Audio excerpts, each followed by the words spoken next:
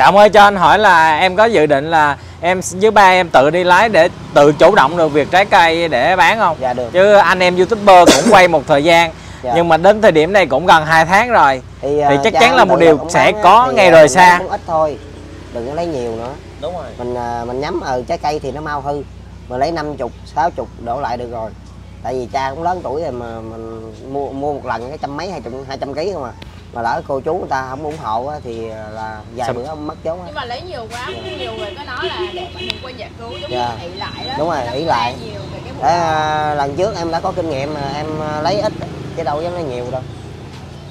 Lấy vừa lá nhiều là với điều kiện Dạ, là một cái ngày là- hôm đó là có youtuber nào báo trước là có mạnh thường quân mua bao nhiêu ký để đi làm thiện nguyện á Dạ. thì ông bác sẽ lá nhiều. Còn không thì trung bình lái một ngày năm sáu chục ký là bán đủ rồi. Dạ nhưng Nè, mà nếu mà được mấy bữa nay em cũng bệnh quá trời luôn sáng giờ nằm vào vào vào nhưng mà tại vì thấy là ông bác già Dạ. nên là cô chú anh chị cũng là thương ông bác Dạ. nên là muốn à, mua khi nào bữa nào mà ông bác bán ế thì cũng muốn giải cứu cho ông bác Dạ. cái đó là điều rất là tốt nhưng còn còn lại mà nói là khi mà đã giải cứu cho ông bác xong rồi nói ông bác là vô ơn á, thì thật sự cái đó là không đúng cái đó là do những ờ, cái kênh youtube xuyên- tạc thôi chứ còn đây thật sự ông bác đã nói lên clip là nãy đã cũng đã nói là không có uh, vô ơn gì hết mang ơn còn không hết đó.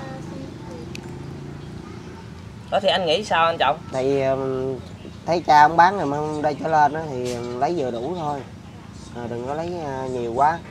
Cô chú thương ủng hộ thì cũng thời gian thôi chứ còn những hoàn cảnh khác nữa. Ý em là anh muốn là cha anh tự lực bán hay là Tự anh lực muốn bán. nào cũng mạnh thường quân tự lực bán Đúng để rồi, à, tại cho cha ông đừng có ý lại. Đúng rồi. Như em là ngày nào cũng được ai giúp cho em sẽ ý lại.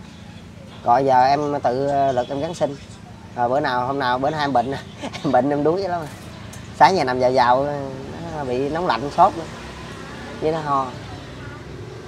Với lại anh anh với ba anh đi ra ngoài chợ mà đầu mối anh lấy á thì anh sẽ được chủ động được cái tha, thay đổi giống như cái à, ngày hôm nay anh bán cái món này. Dạ. mà anh bán món kia chứ không phải bắt buộc nhất thiết cái bán cam bán mía bây giờ là nếu bây giờ gì cho dễ nè cha cứ ở nhà đi. Em chạy một chiếc xe hai hai cái vỏ hai bên em sẽ lựa trái cây ờ, ngon cho cha bán. Mà phải đi sớm. Đó. cha ông lớn tuổi ông chạy người ta lái không có cứng á, nguy hiểm. Khi quẹt người ta cái gối đó. Ê, nói được làm được à? Được. Hai sọt hai bên. Hai sọt hai bên nhưng mà, bữa vậy đó đó. chạy cái rồi à. Tại vì tại vì từ đây ra chợ Bình Điền cũng không có xa lắm đâu đi nửa tiếng về nửa mà tiếng bữa à. nào ờ, cô chú nào đặt nhiều á thì em lấy xe ba gác em chạy qua. Còn mà nào không có đặt á, thì em lấy vừa đủ em bán thôi. Năm sáu ký là ok đi xe khi, máy là ờ, hai bên dạ. được rồi. Nếu anh trọng mà chủ động mà lấy trái cây cho cha cho ba anh bán thì tụi em rất là hoan nghênh. Đó thì còn còn cái vấn đề mà hiện tại á là do người ta nói là ờ, ba anh là vô ơn đến những người giúp đỡ. Thì anh nghĩ sao? Có đó mang ơn còn không hết nữa là sao mà vô ơn được? Không tại vì người ta hiểu lầm cái câu mà tôi không cần giải cứu. Tại vì tại vì tê tê giật á à, ý là Không, ông không có hiểu cái những cái câu đó ha. ông bác ông không hiểu ông mà. ông muốn nói là tự lực ổng mà ông không có nói tự lực mà ông nói là à, tôi không cần. Ừ. cũng như là Ông mình mình tự lực để mình bán giống như cô chú mà ở ngoài người ta bán đâu có có ai giải cứu đâu. Ai cũng muốn vậy Ừ. hết trơn á thì um, cô chú người ta giúp mình một lần chứ hai lần thôi chứ đâu có giúp hoài được. Còn nhiều hoàn cảnh khác lắm chứ không phải là mình mình ơn hoàn cảnh chứ hồi ờ, xưa cứ giải cứu ba anh hoài Dạ. người ta nói là sao không giải cứu những hoàn cảnh khác người ta cũng chịu nhiều mà giải cứu thì người ta nói là suốt ngày là mua cho lắm rồi cứ đợi giải cứu đó. Dạ. Thì à, cha ông ơi vậy nè ông tính là lấy rồi một chuyến một. Hỏi ông ông nói tao muốn lấy chuyến một vậy đó rồi à, mai tao khỏi lấy. Nói trái cây mà lấy à, chuyến một giống như vừa hổm một đống vậy đó rồi về nó bị héo á. à, héo nó Dạ. không ngon. Vải Không không ngon. cũng vậy đó. Với trái cây à, mình lấy bữa nào à, hết bữa nào à, là mình bán hết bữa đấy đi để cho nó để rồi mình mai mình lấy trái cây khác nó mới tươi. Trái cây nó mau hư lắm. Ít ngày là nó úng hết trơn. Giống như chị thấy bơ. Không? bữa hôm nó chín cái, cái tủ em nó đặt nghẹt hết trơn em ăn với mà thấy trái bơ nhớ còn ám ảnh. Rồi họ ăn không hết luôn á. Vợ làm ca ca ca nó nói sao ăn hết nổi? Cái gì đâu mới chín liền liền hết trái này chín cái nào em vô tủ linh đem vô bọc hết trái này tới bọc khác. Từ ngày anh trọng không còn bán trái cây có vẻ như là kinh nghiệm đầy mình với trái cây ha. Dạ. chứ hồi xưa mà bán ai khuyên gì cũng không nghe hết trơn. Dạ lấy ùng ùng ùng ùng cái thấy tiền ha. À, với gì nè cần đâu dám cần thiếu đâu. Một ký ký hai ký ba không. Về ta cân lại cái là nó đủ. Nhiều khi nó dư rất là nhiều dư luôn á. Rồi mình bị lỗ vậy mà chục ký là ra 13 ký rồi. bì này kia nữa. Thì uh, bình bì đó. Ao hụt rồi hư trái cây rồi trái cây rồi nó bị hư á nó hư rồi đâu dám đền ta đâu rồi chịu anh luôn mà, mà rồi đây là cũng có bài Dạ. học cho anh á là những cái người mà ở ngoài cuộc sẽ sáng hơn người trong cuộc á Dạ. thì khi mà lúc mà anh đã đang nó dính ở trong cái vòng đó rồi ở ngoài người ta nói anh anh sẽ không nghe Dạ. mà sau khi bây giờ anh nhìn thấy ba anh bán thì anh biết được cái sự hao hao Biết hao, rồi. Dạ. hao hụt đi cái đúng cây không để à, qua ngày nó bị nhót nó à, nhót giống nó đi cái cái giống cái xương của nó đó cái xương trong trái cây đó. Là nó nó gom giống như nhãn nó gom từ từ nó héo rồi quý vị ơi cây. tính ra thì trọng súng chắc làm mười mấy nghề rồi đó mười mấy nghề ra à, hôm đó thấy à, bán à, trái cây á, tại khả năng biết lỗ à rồi à, nghỉ đó biết luôn tại bữa đó là cầm luôn. chiếc xe 7 triệu mà đây quay còn có 2 triệu mấy mình không có lời rồi mình trả nợ lặt vặt lặt vặt thì không có nhiêu đâu mà con cái nó không có đẻ đồng lời nhưng mà nhiều. thí dụ bây giờ Dạ. mà anh đã có kinh nghiệm đã vậy lỗ mà rồi anh, còn bị thêm ờ, về gửi gì tiền lời người ta nữa chứ không phải là gì không bây giờ khỏe. Ví dụ bây giờ Dạ. anh có kinh nghiệm và anh quay lại mấy trái cây này anh có bán ok không? Bây giờ em Nhắm đang ờ, đang bán ờ, đồ cho công ty em không bán được. Giờ người ta làm nhân viên Dạ. văn phòng rồi làm Em đang bán, rồi à, làm PA rồi quá trời luôn. Rồi, rồi, có gì là cây. cha không bán là phụ tiếp cũng được. À, bây giờ người ta mặc quần dài rồi bánh đi dép lào đua dép về ba ta bữa nay em bệnh rồi không bữa nay bữa nay nghỉ bữa nay nó hầm là quá không có mang giày. ủa nghĩ nhưng mà bánh mặc áo công ty house sen luôn là quả Tại- dặn quán tại gọi dặn quán bá nó có một áo nó mặc hoài quá không vậy ba cái là vậy ở nhà ba cái là công ty gọi ủa người ta cái. đồng phục người ta mà anh nói gì? Người ta có Ba một, áo, hai, một- hai ba cái quần đó ở nhà.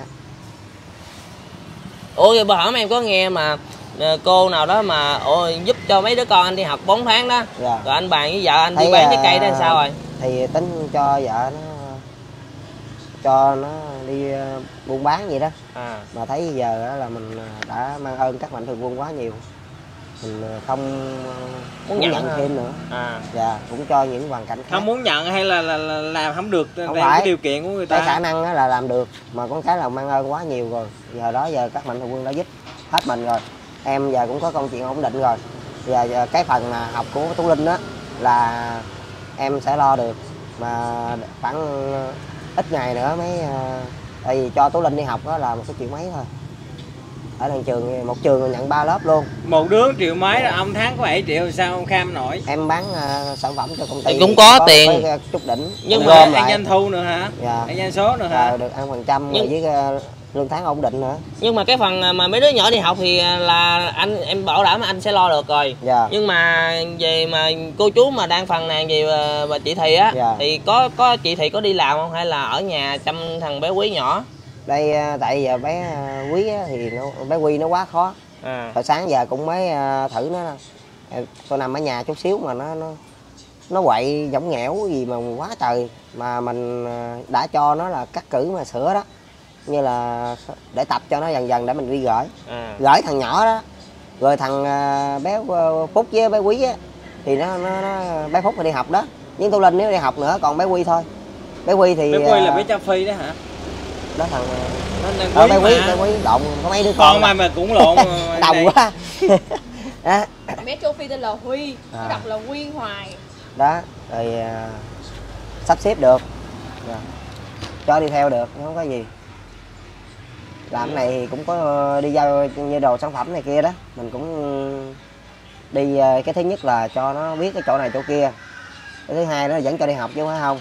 Để cho nó biết cách giao tiếp của mình đi ờ, mua bán gì đó. Nếu như Nó bây giờ mình. nhà mình nghèo không có tiền mình xin vô mấy cái chùa hoặc là mấy chỗ mà dạy miễn phí cho Đúng mấy rồi. người nghèo đó Thì, học à, trước đi. em cũng tính gì nè. Hoặc là mấy cái sơ đó. nhà cửa ổn định rồi đó như là hiện giờ là cái, cái mình làm ăn cho nó ổn định cái nhà trọ mình rồi đó rồi em ờ, dẫn mấy đứa con đó đi ờ, đi làm ăn cái ờ, công chuyện cho nó đi là hết luôn, không có ở nhà nữa.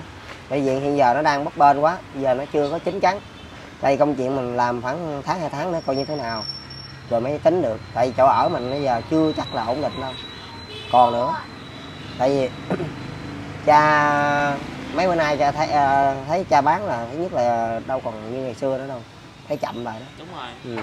còn em là phải kiếm một công chuyện là nó ổn định gì nè cố định mình cố định đó để ờ, mới làm được rồi ờ, từ từ như là tách tách mấy đứa này ra cho nó nó được đi học chứ không phải là ở nhà không nữa sáng Dạ. em chọn em hỏi ông bác một câu á nếu mà ông bác bán trái cây cái tình trạng mà ngày nào cũng để người ta cứu hoài một Dạ. ngày khả năng của ông bác một ngày bán Thì từ 2 đến 3 kg thôi mình- ông bác có định hướng mà chuyển nghề khác không Dạ. nếu mà đừng cùng á ông bác nói á nếu mà đừng cùng thì ông bác chỉ có Đây em cũng đi có một cái, à, thôi à. cái đường cùng gì nè.